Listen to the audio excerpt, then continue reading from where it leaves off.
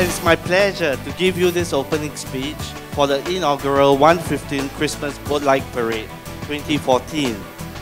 Our Boat Light Parade is an iconic event for ONE15 and we'll make sure it grows in stature year after year.